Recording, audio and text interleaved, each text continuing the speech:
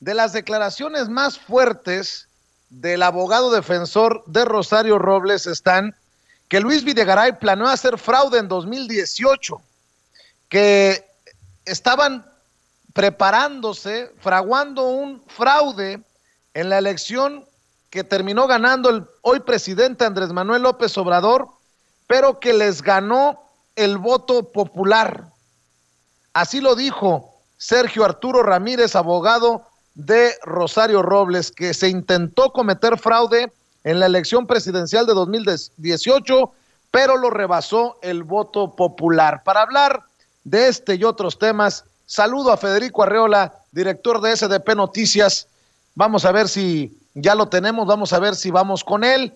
Eh, mi querida Ceci Vega me acaba de decir que se cayó la llamada con Federico Arreola. Vamos a ver si lo tenemos, vamos a ver si logramos comunicarnos con él, porque son declaraciones muy fuertes, graves, precisamente sobre esta situación. Don Federico Arreola, ¿cómo te va? Buenas tardes. ¿Cómo estás tú? Pues aquí enterándome de estas cosas, eh, dándole seguimiento al caso de la Chayo Robles. ¿Cómo ves estas declaraciones del abogado que estaba Luis Videgaray planeando un fraude en 2018, pero que le ganó el voto popular? Gracias a Dios. Este, pues no, no, no lo sé. Yo lo que recuerdo es que desde por lo menos un año antes, la gente que yo, con la que yo tenía alguna comunicación del gobierno de Peña, todos pensaban que, que la elección para el PRI estaba perdida y para el PAN también, la, veían, la veían, la veían ganada por López Obrador.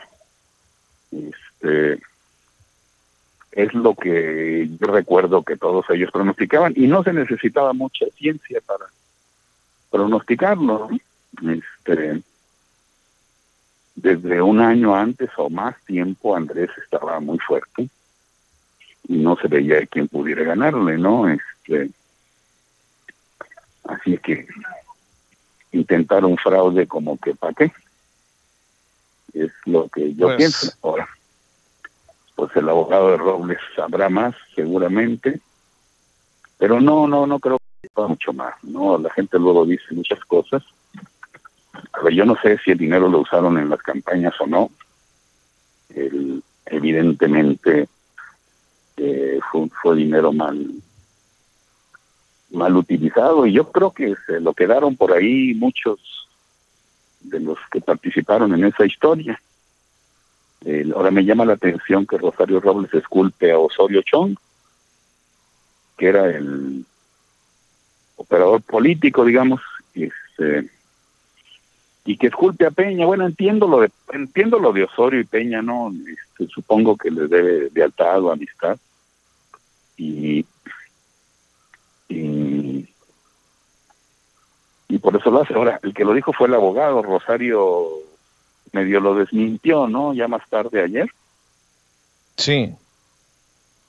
Se dijo Rosario que, pues, que, ella va a salir a decir la verdad y que se pide a sus voceros que se, se apliquen a derecho y, siento que desconoció un poco todo lo que dijo este señor.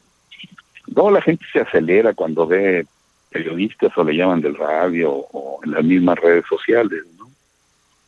Este, todos nos volvemos locos con los reflectores y nos da por, por decir cosas para llamar la atención.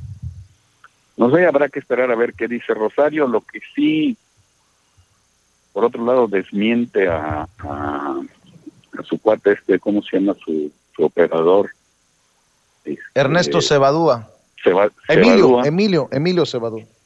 Emilio Cebadúa, que lo que había dicho es que le dio dinero a, Peña y a Videgaray para las campañas. No sé exactamente en qué lo desmiento. El, el, la verdad es que,